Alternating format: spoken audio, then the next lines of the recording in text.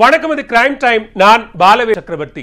நடிகர் Vijay Rolls Royce காரை இறக்குமதி செய்த வழக்கில் அவருக்கு எதிராக கூறிய தனி நீதிபதியின் கருத்துக்களை நீக்கி உத்தரவிட்டுள்ளது சென்னை உயர்நீதிமன்றம். தீர்ப்பின் முழு விவரம் என்ன?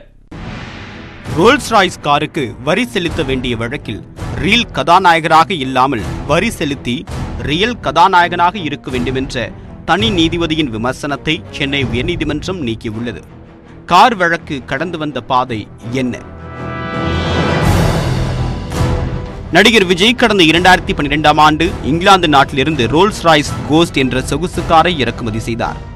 இந்த காரை தென் சென்னை வட்டார போக்குவரத்து அலுவலகத்தில் பதிவு செய்ய விண்ணப்பித்தார். ஆனால் வாகனத்திற்கு நுழைவு வரி செலுத்தினால்தான் வாகனத்தை பதிவு செய்ய முடியும் என்று வட்டார போக்குவரத்து அலுவலர் தெரிவித்தார்.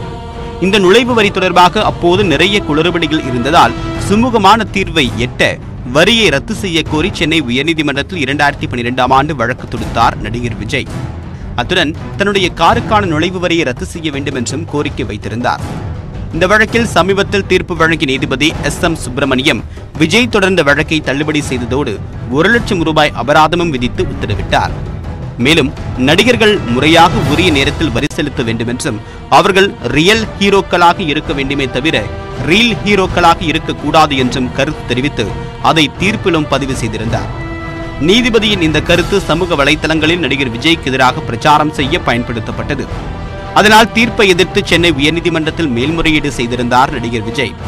தனி நீதிபதியின் உத்தரவு நடிகர்களை கொச்சைப்படுத்தும் வகையில் உள்ளது என்றும் இதுபோன்று பலர் வழக்கு தொடுத்திருக்கக்கூடிய நிலையில் நடிகர் விஜய் மீது மட்டும் தேவையற்ற விமர்சனம் வைக்கப்பட்டுள்ளது ஏற்புடையது அல்ல என்றும் விஜய் தரப்பில் வாதிடப்பட்டது.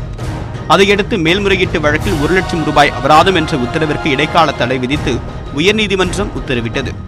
இரண்டாயிரத்தி இருபத்தி ஒன்று அக்டோபர் இருபத்தி ஐந்தாம் தேதி மீண்டும் நடைபெற்ற விசாரணையில் வரி நிலுவை முப்பத்தி இரண்டு லட்சம் ரூபாயை ஆகஸ்ட் மாதம் ஏழாம் தேதி செலுத்திவிட்டதாக நடிகர் விஜய் தரப்பில் தெரிவிக்கப்பட்டது.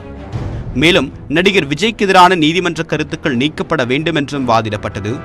நீதிபதிகள் கடும் கருத்துக்களை தெரிவிக்க கூடாது என்று உச்சநீதிமன்றம் தெரிவித்திருப்பதாகவும் தனி நீதிபதி தெரிவித்த கருத்துக்கள் தனிப்பட்ட முறையில் புண்படுத்தி உள்ளது என்றும் குற்றவாளி போல காட்டி உள்ளது என்றும் தெரிவிக்கப்பட்டது. இந்த வழக்கில் சுமார் மூன்று மாதங்களுக்கு பிறகு செவ்வாய்க்கிழமை நீதிபதிகள் புஷ்பா சத்யநாராயண மற்றும் முகமது ஷபேக் தீர்ப்பளித்தனர். நுழைவு வரி விதிக்க மாநில அரசுக்கு அதிகாரம் உள்ளதாக உச்சநீதிமன்றத்தில் ஒன்பது நீதிபதிகள் அடங்கிய அமர்வு தீர்ப்பளித்ததையும் சுட்டிக்காட்டினர்.